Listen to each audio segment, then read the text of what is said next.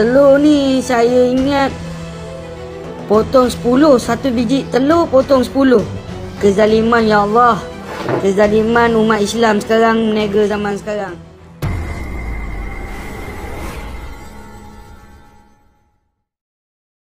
Seorang pengguna media sosial berasa kecewa dengan peniaga yang hanya mementingkan keuntungan tanpa menjaga kualiti makanan mereka.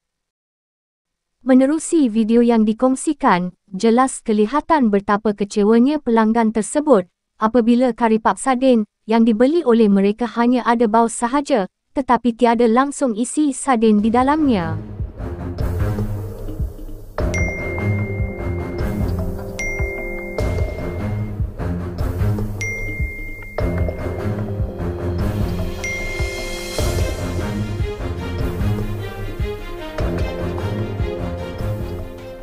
Manakala di Pahang lain pula ceritanya.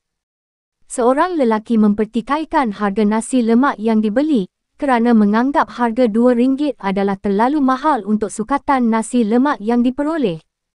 Di dalam video ini juga, pelanggan tersebut melabelkan si peniaga sebagai zalim.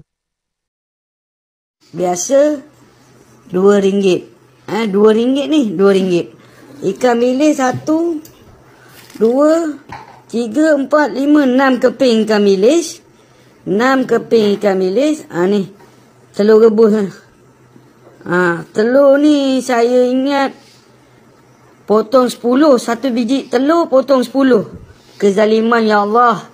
Kezaliman umat Islam sekarang menega zaman sekarang. Lokasi Adung. Ha, Rauk Pahang. Ha, Rauk Pahang Dung.